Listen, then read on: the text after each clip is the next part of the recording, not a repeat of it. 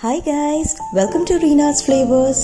Continuing with my series of chutneys, I've brought you a coconut chutney today.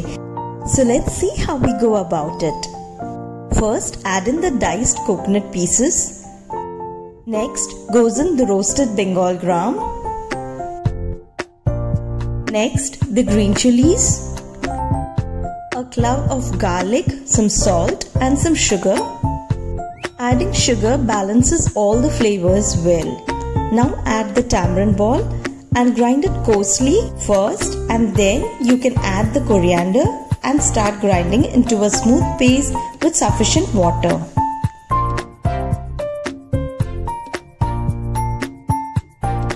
Now let's finish off with a perfect tempering. A tip I would like to share with you over here is Mix the tempering with the chutney just before serving. Serve it with any of your favorite breakfast items. Goes very well with idli, dosa, pesarattu uttapams. Hope you enjoyed the video today. Easy and quick chutney just in 5 minutes. Load, blend, temper and serve. Thank you.